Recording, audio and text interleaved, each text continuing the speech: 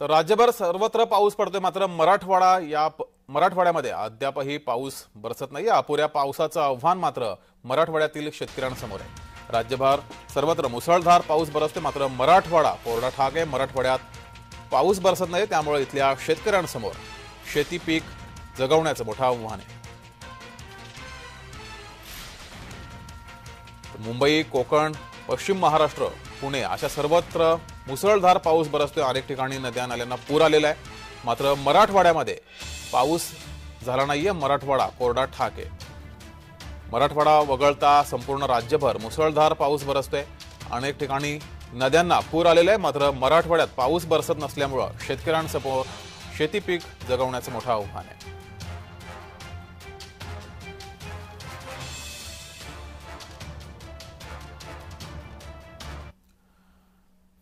अधिक माहिती घेऊया आपले प्रतिनिधी विजय चिडे आपल्यासोबत जोडलेत. विजय मराठवाडा वगळता संपूर्ण राज्यभरात नद्यांना पूर आलेला आहे. मुसळधार पाऊस बरसतोय. मराठवाड्यात पाऊस नाही काय स्थिती आहे मराठवाड्याची?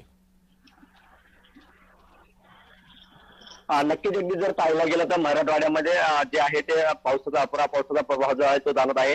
एकीकडे राज्यामध्ये पाहायला गेलं तर धोधो पाऊस जो आहे तो बरसाचा आपल्याला पाहायला मिळत आहे. छत्रपती संभाजीनगर असेल जालना असेल बीड धाराशिव या जिल्ह्यांमध्ये जर पाहायला गेलं तर अद्यापही नदी नाले जे आहे ते पुढे ठाक असल्याचे वास्तव्य जे आहे ते समोर येत आहे. मागील दोन दिवसापासून जर पाहायला गेलं तर मराठवाड्यामध्ये फक्त रिमझिम पावसाने हजेरी लावली आहे त्यामुळे आता मराठवाड्यातील शेतकरी जे आहे ते आता पुन्हा एकदा संकटात या तरी पाहायला मिळत आहे. पावसाळा लागून तब्बल दोन महिने उलटले आहे तरी देखील मराठवाड्यातील नदी नाले कोडे ठाक असल्याने आता शेतकरी जो आहे तो आता चिंतातूर झालेला पाहायला मिळत आहे. शेतकऱ्यांनी रिमझिम पावसावरती लागवड केलेली कपाशी तूर मका सोयाबीन बाजरी हे पिके देखील आता संकटात येताना पाहायला मिळत आहे. त्यामुळे आता शेतकरी दुबार पेरणीच्या संकटावरती शेतकरी थेपला आहे. त्यामुळे आता शेतकरी पुन्हा एकदा कर्जबाजारी होताना आपल्याला पाहायला मिळत आहे. महत्वाची गोष्ट म्हणजे मराठवाड्यामध्ये पैठणच्या जायकवाडी या धरणातून पाणी पुरवठा केला जातो. मात्र त्याच नाथसागरामध्ये आज. केवळ चार टक्के पाणी साठा आहे त्याच नाथसागरामधून संपूर्ण छत्रपती संभाजीनगर जालना मराठवाडा नांदेड या ठिकाणी पाणी पुरवठा. केला जातो.